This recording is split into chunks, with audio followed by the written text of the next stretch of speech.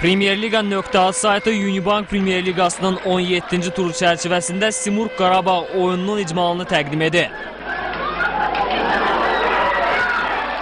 Hər iki komandanın xala ehtiyacı var idi. Simurq Premyer Liqada yerini qorumağa, Qarabağ isə ilk altılığa düşməyə çalışır. Bu oyunun müqəddəratını bir qol həll etdi.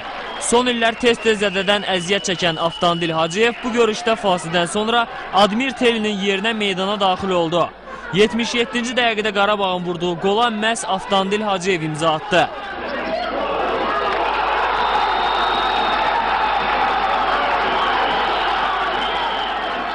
Simurqun hesabı bərabərləşdirmək səyləri isə bəhrə vermədi.